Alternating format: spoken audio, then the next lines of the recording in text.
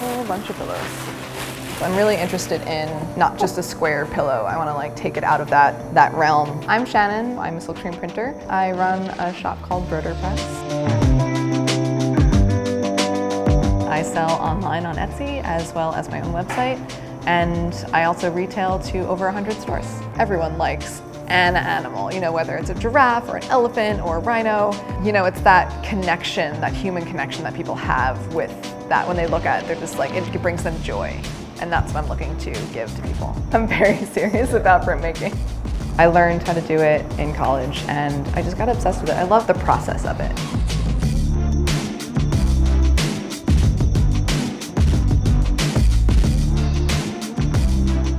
You put emulsion on the screen, you expose it to light, you get a stencil, and you print. An emulsion is basically Elmer's glue with a photosensitive polymer in it, so it's really, really goopy.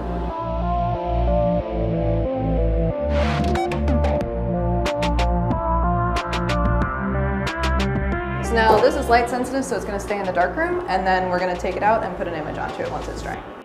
So this is our exposure unit.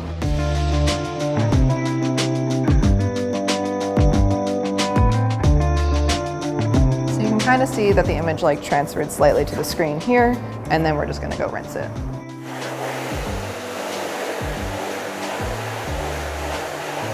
So everywhere the light's been able to come through is where the ink is gonna be able to come through.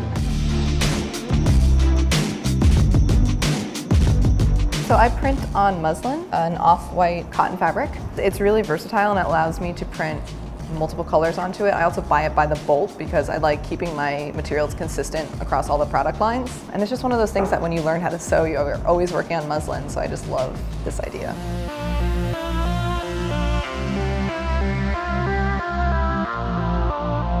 Press down.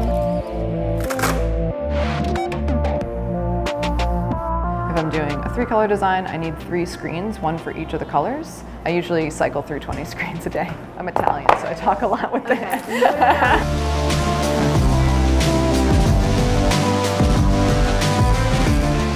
I can sew about 120 pillows a day. I think I just started doing pillows because I wanted to create objects.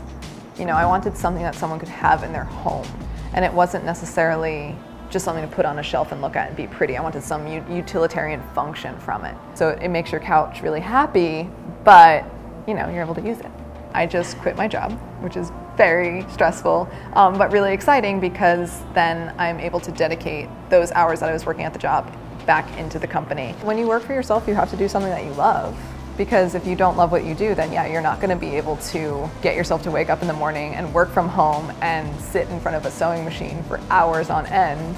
My stuff is in Japan and China, and I have sent a pillow to every single state in America, so there is one of my pillows in every state. I think one of the most touching customs that I made was making a custom pet pillow for someone in the military. My dad's a Vietnam veteran, so we're kind of a Navy family. You know, when, when veterans or military is abroad and everything like that, they don't have their pets with them. So the fact that someone made a custom pet pillow of the pet the Army person could have at their base was really special to me. So emotional.